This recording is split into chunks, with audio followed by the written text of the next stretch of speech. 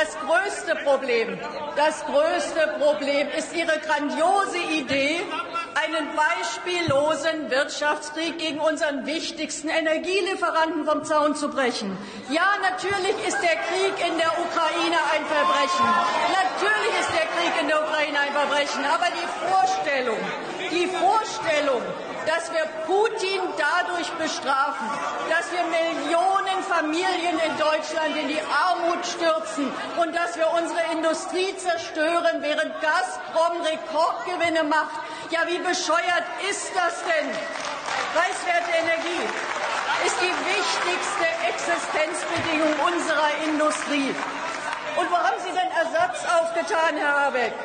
Bei amerikanischen Fracking-Gasanbietern, die aktuell 200 Millionen Euro Gewinn mit jedem einzelnen Tanker machen. Klar, so kann man die Gasspeicher auch füllen.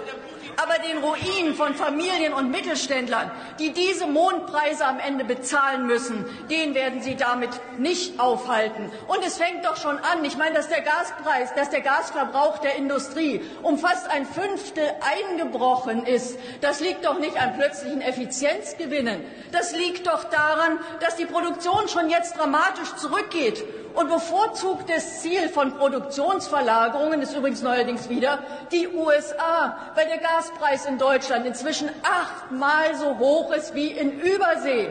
Make America Great Again. Tolle Strategie für eine deutsche Regierung.